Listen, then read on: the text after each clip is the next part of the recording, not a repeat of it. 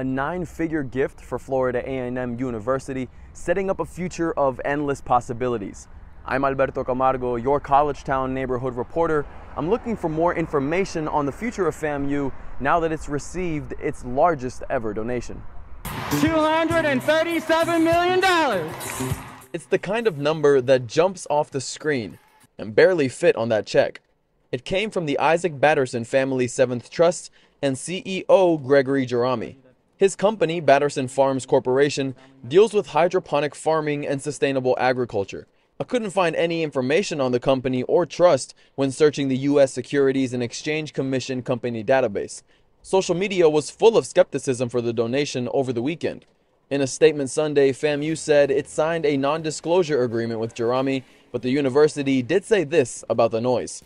Quote, we are fully aware of the skepticism that sometimes comes with such a large gift. Please know that FAMU has done its due diligence when it comes to this matter. Mr. Gerami's $237,750,000 stock transfer was received in the same manner in which we have accepted all other stocks donated to the university through the FAMU Foundation. FAMU is confident in the validity of the money, saying all 237 million has been transferred to the FAMU Foundation in the form of stocks. I contacted FAMU Monday to learn more about where that money is going, but I'm still waiting to hear back. The announcement was met with big cheers at commencement Saturday.